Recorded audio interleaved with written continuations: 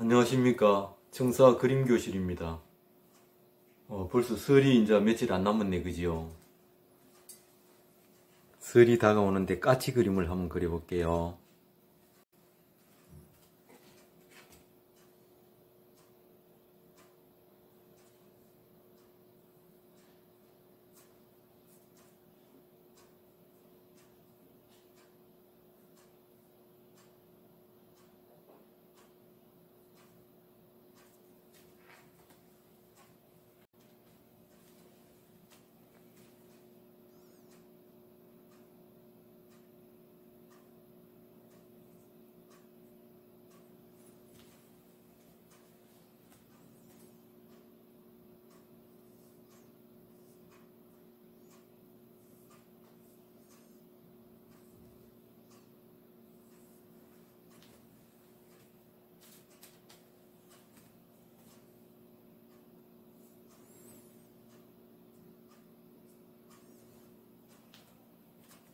까치는 여기 어깨 부분에 흰 띠가 요리 있잖아 그죠?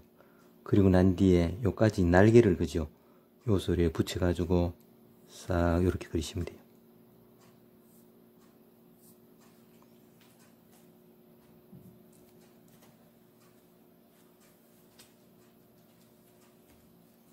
그 다음에 이 부분에다가 꼬리를 그죠 이렇게 이쪽 편도 요 흰 띠를 약간 요렇게 살짝 요렇게 해놓으면은 느낌 되겠죠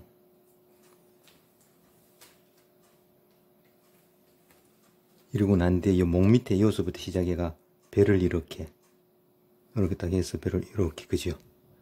그 다음에 이 부분에 허벅지 부분을 이렇게 이렇게 그죠? 그 다음에 이제 다리를 이제 요렇게 해서 요렇게 가도 되고 요렇게 가면 요렇게 와도 되고 그죠? 편안하게 보이도록만 하면 되잖아 그죠? 그럼 요렇게.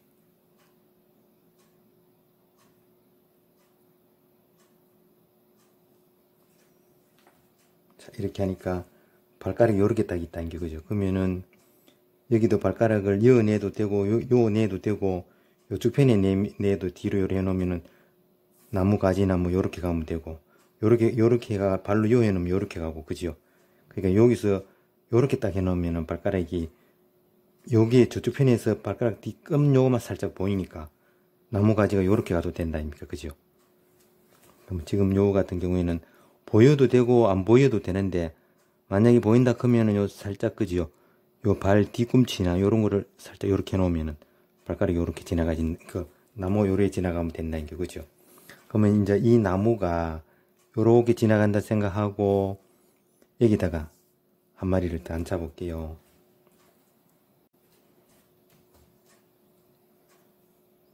까치노와 어릴 적에 설날에 이리 찾아온다 했지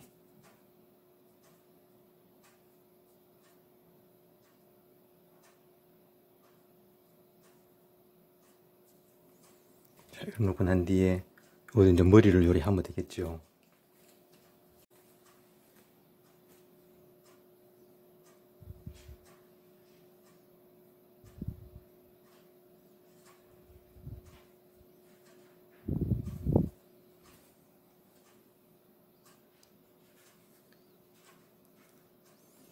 이렇게 해놓고 몸을 그죠 요것도 요렇게 해도 되고 그냥 바로 요렇게 해도 되고 그죠?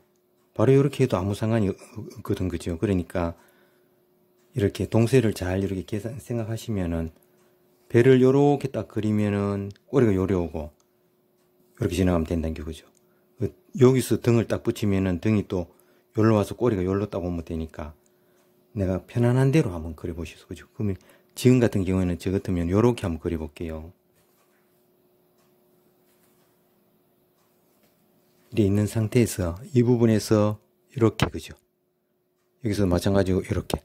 이렇게 하니까 새가 앞으로 딱 보고 있다는 게 그죠? 그러니까 이제 이래 놓고 난 뒤에 이런 부분에 이 어깨 부분이 약간 보여도 되고 안 보여도 되는데 조금 보이게 해주고 싶으면은 살짝 여기서 대갖고 이렇게 살짝 이렇게만 그죠 이렇게 해주니까 요게 부분이 살짝 보인다는 게 그죠? 그리고 난 뒤에 이제 이 부분에다가 꼬리를 꼬리를 이렇게 쭉 당겨 내려오면 되는데 이 새가 앉아 있고 나무가 이래 지나가고 싶으면은 나무를 먼저 이렇게 그려 놓고 꼬리를 달아도 되니까 그죠? 이제 내가 어떤 게 편하다 싶으면은 편한 대로 하시면 돼요. 지금 같은 경우에는 여기서 발을 먼저 이렇게 그려 놓고 나무가 지나가고 가면은 더 좋겠네 그죠? 그러면은 발을 여기서 시작해 갖고 이렇게 자 이렇게 놓으니까 발가락이 요래 있다 아닙니까? 그- 그럼 나무가 요렇게 가서 요래 가면 되겠죠. 그러니까 요래 놓고 난 뒤에 이제 꼬리를 나중에 그죠? 자, 나무 가지를 그려 볼게요.